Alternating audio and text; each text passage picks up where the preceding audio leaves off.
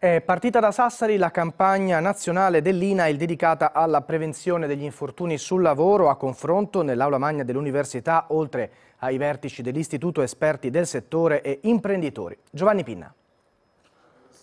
La campagna nazionale parte da Sassari, la prima delle 23 tappe del forum con cui l'Istituto illustra il piano triennale di prevenzione 2022-2024, coinvolti sindacati, istituzioni e imprenditori, ai quali l'INAIL offre con il bando Easy un contributo a fondo perduto del 65% fino a 130.000 euro per interventi che migliorino la salute e la sicurezza dei lavoratori. Elaborare politiche efficaci richiede infatti la capacità di calarsi nei singoli contesti territoriali, facendo rete per individuare i rischi specifici di ogni branca produttiva e contrastare il fenomeno degli infortuni spesso mortali e delle malattie professionali.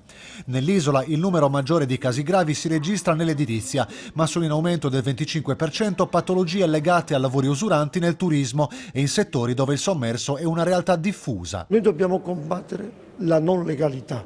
Ci sono molti imprenditori che la maggior parte rispettano le norme. Dobbiamo lavorare dove le statistiche servono anche a quello dove non, non c'è rispetto delle norme.